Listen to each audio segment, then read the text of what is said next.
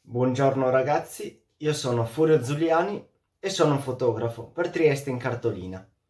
Sono qui per dare dei consigli a chi ha deciso di partecipare al concorso Un libro da consigliare nella categoria fotografia.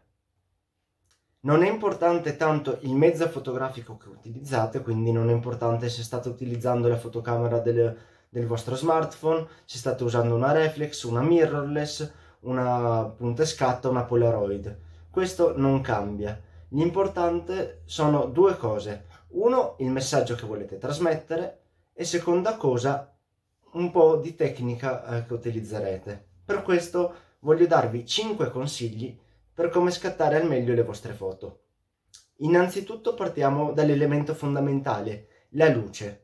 Fotografare vuol dire scrivere con la luce, quindi capirete bene che è molto importante avere una luce adeguata e conoscerla bene. La luce esterna durante il giorno cambia molto, come sapete, quindi all'orario dell'alba e al tramonto abbiamo una luce molto calda e più diffusa e che crea ombre molto lunghe. Al contrario, eh, durante il giorno abbiamo una luce molto dura, molto diretta, eh, che crea forti ombre e forti contrasti tra luce e ombra, appunto. E, per questo motivo, quindi, eh, dovete tener conto del tipo di fotografia che volete scattare e capire in che orario del giorno volete scattarla. Ovviamente poi cambia anche se c'è una giornata di pioggia o una giornata di sole.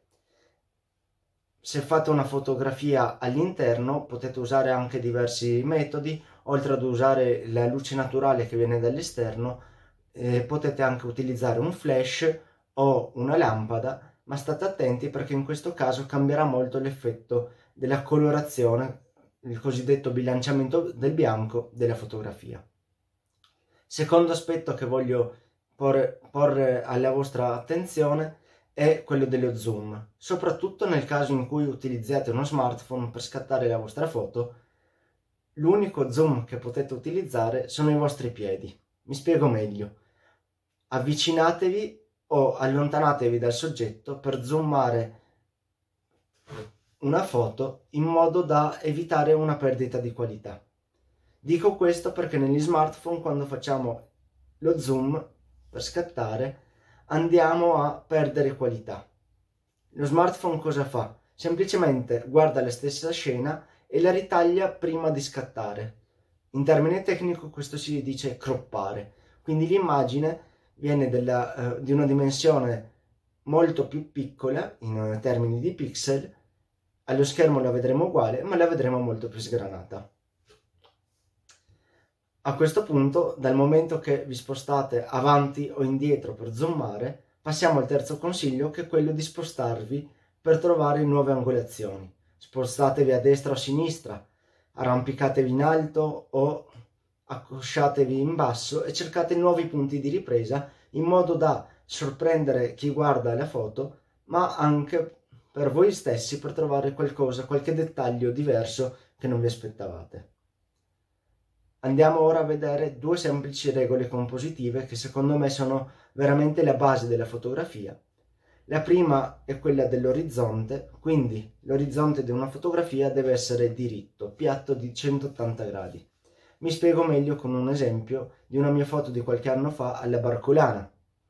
Questa qui è la Barcolana di Trieste. Come vedete la linea dell'orizzonte, quindi la divisione tra mare, mare e cielo, è perfettamente piatta. Dobbiamo evitare quindi di fare foto con questo effetto qui, quindi un mare che sembra in discesa, anche il faro risulterebbe in questo caso storto, perché non dà un'idea di equilibrio e non mostra quella che è la realtà. Potete fare sì una foto leggermente inclinata o inclinata ad esempio di 45 gradi, ma deve essere evidente che è uno sforzo artistico, quindi deve essere evidente che è stato fatto di proposito e non per distrazione. Ultima regola che voglio consigliarvi è la regola dei terzi. È una regola molto famosa in fotografia e eh, sostanzialmente ne avete un esempio nei vostri smartphone, ma anche in qualsiasi macchina fotografica.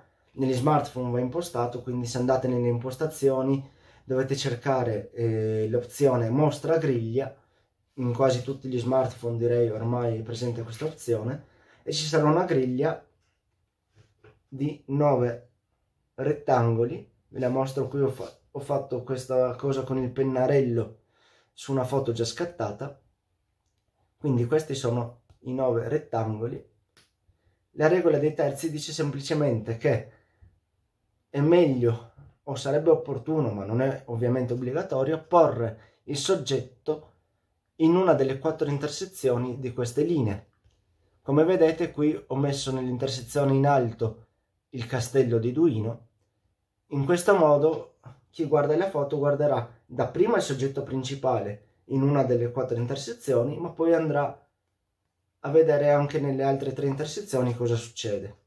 Se al contrario mettessimo il soggetto principale solo al centro di questo rettangolo, allora probabilmente lo spettatore perderebbe alcune informazioni, nel senso che si soffermerebbe a guardare il rettangolo principale e non guarderebbe poi cosa succede nel resto della scena.